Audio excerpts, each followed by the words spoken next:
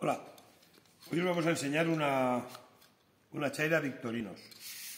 Es una chaira de acero. Victorinos tiene chairas de acero, de cerámica y de, diamante.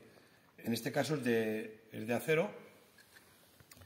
Y estas, eh, las chairas, para, son para mantener afilado, no es para cuando no cortan ahí liarse a afilar. El funcionamiento es de la manera siguiente.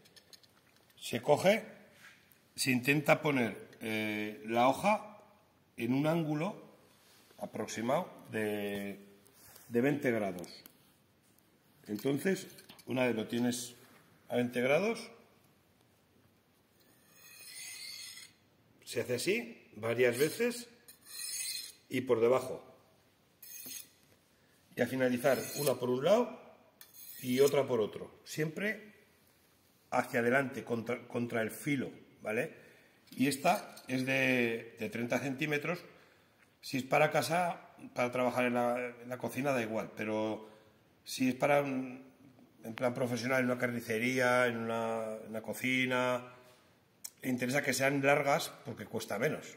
Y el tiempo, pues bueno, es importante. Con una chaira grande se, se, arregla el filo mucho más, mucho más rápido. La Victorinos de 30 centímetros.